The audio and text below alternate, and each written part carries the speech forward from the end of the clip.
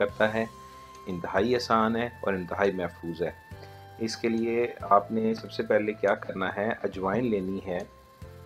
अजवाइन खरासानी भी आप उसको कह सकते हैं। ये आम मिलने वाली चीज़ है इंडो पाक के लोग इसको बिल्कुल आम समझते हैं। अजवाइन आपने 10 ग्राम ले लेनी है। उसके बाद नमक स्याह, जिसको ब्लैक ब्लैक सॉल्ट कहते हैं, ये भी आपने 10 ग्राम ले लेना है। और इसके अलावा आपने लेमन या नींबू ले लेना है और उसका इतना जूस निकाल लेना है। तकरीबन इतना, इतने जो मकदार में चीज़ें हैं, उनके लिए आपके पास दो तीन चार नींबू हुए तो उनका आपने जो पानी निकाला होगा वो काफ़ी होगा। और सामने तस्वीर भी मैंने दिखाई हुई है स्लाइड में कि आपको नज़र आ रही हैं कि अजवाइन है और ये काला नमक है और साथ लेमन है।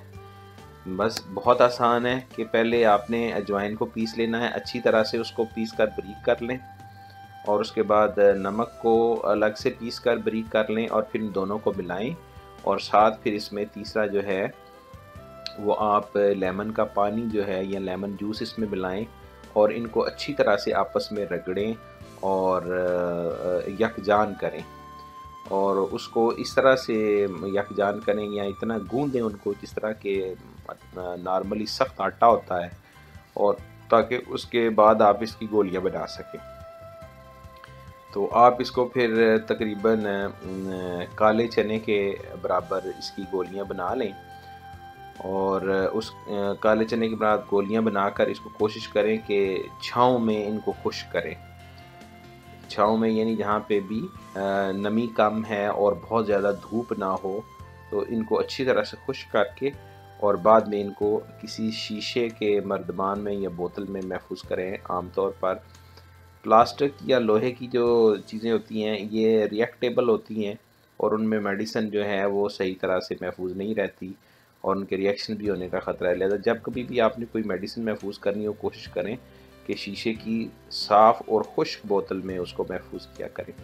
तो आपकी ये दवाई तैयार है और जब भी बदज़मी हो तो फौरी तौर पर आप इसकी दो गोलियाँ सुबह दोपहर शाम भी ले सकते हैं। रूटीन में अगर आपने अपने हाजमे को दुरुस्त रखने के लिए चीज़ें खानी हैं तो सुबह शाम खाएँ आप इन ताला जो बदज़मी के बहुत सारे मसाइल हैं, तजाबियत है कब्ज़ है, गैस है उससे महफूज रहेंगे और आपका मैदा इंतहाई शानदार तरीके से काम करता रहेगा।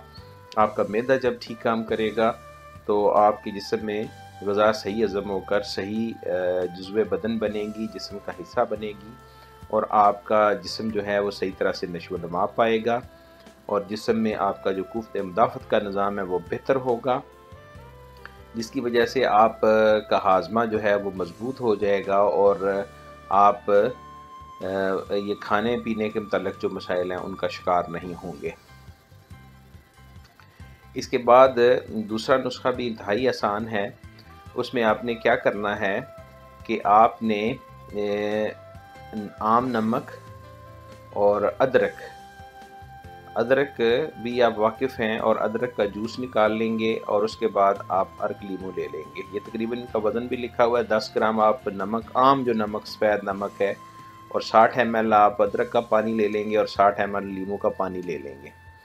और उसके बाद इनको अच्छी तरह से एक किसी बॉटल में, शीशे की बॉटल में मिलाकर तो एक दिन मतलब अगर बेहतर तो ये है कि तीन चार दिन के लिए आप इनको धूप में रख दें।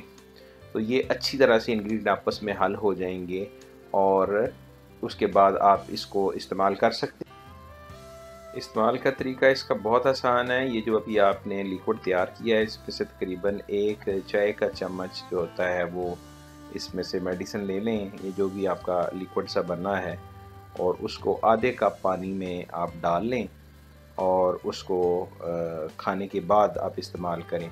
सुबह शाम आप नॉर्मल हालात में इसको इस्तेमाल कर सकते हैं, लेकिन अगर ज़्यादा तकलीफ़ हो तो आप इसको चार चार, पाँच पाँच घंटे के बाद भी इस्तेमाल कर सकते हैं। और जब आपकी सेहत ठीक हो जाए और आप इसको वैसे हाथ में दुरुस्त करने के लिए इस्तेमाल करना चाहें तो फिर सबसे बेस्ट ये है कि आप इसको सुबह शाम इस लिक्विड को इस्तेमाल करें।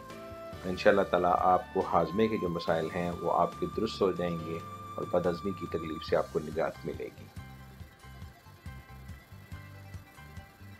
तीसरा नुस्खा इंतहाई आसान है। इसमें आपने क्या करना है कि रेडीमेड शक्ल में बाज़ार से तीन चीज़ों का सत मिल सकता है। सत पुदीना है, सत अजवाइन है और काफूर है। ये तीनों तकरीबन वाइट शक्ल में ही बाज़ का क्रिस्टल की शक्ल में चीज़ें होंगी और बाज़ का पाउडर की शक्ल में होंगी। आप इनको ले लें और अच्छी तरह से इनको तीनों को आपस में मिलाकर तो एक दिन के लिए आप बोतल जो है वो धूप में रख दें और उसके बाद जब भी कभी ज़रूरत पड़े आपको मुख्तलिफ़ जो मैंने तकलीफ़ें बदज़मी की बताई हैं, उनका इलाज करने के लिए तो इसमें से दो तीन कतरे जो हैं ये, जो लिक्विड सा बनेगा, इसको तकरीबन आधा कप पानी में डालकर तो आप इसको ज़्यादा तकलीफ़ की सूरत में सुबह दोपहर शाम इस्तेमाल कर सकते हैं। और नॉर्मली जो है, अगर आपने हाजमे को दुरुस्त रखने के लिए इसको इस्तेमाल करना है तो आप सुबह शाम इस्तेमाल कर सकते हैं। ये तीनों इंतहाई आसान और महफूज नुस्खे हैं। आप इनको बनाकर घर में रख सकते हैं और यकीन माने कि ये जो हैं, देखने में और सुनने में इंतहाई सस्ती और इंतहाई आम सी चीज़ें हैं, बाज़ार से बड़ी आसानी के साथ मिल जाएँगी आपको। और इनको मिलाकर रख लें, यकीन करें कि ये आपके हाजमे के निज़ाम को बिल्कुल उस तरह से कर देंगे जिस तरह के नौजवान आदमी का हाजमा होता है। और आपको खाई पी चीज़ें जो हैं, वो बड़ी आसानी से हज़म होंगी। और जब हाजमा दुरुस्त होगा तो फिर आपके जिसम में खुराक का इंतज़ाम या उसका जज़ब होना ठीक होगा, खुराक आपके सेल का या टिश्यू का सही तरह से हिस्सा बनेगी और उससे फिर आपका सेहतमंद ब्लड पैदा होगा और आप ज़िंदगी में जो मुख्तलिफ़ किस्म के मसाइल पैदा होते हैं, सेहत के मतलब उनसे महफूज रहेंगे। उम्मीद है कि आप इनको इस्तेमाल करेंगे और मुझे इससे, इनके जो असरात हैं, उनसे आगाह भी करेंगे। तो अपने लिए और दूसरों के फ़ायदे के लिए इस चीज़ को, इस वीडियो को ज़्यादा से ज़्यादा शेयर करें और इलम फैलाने से ही फैलता है।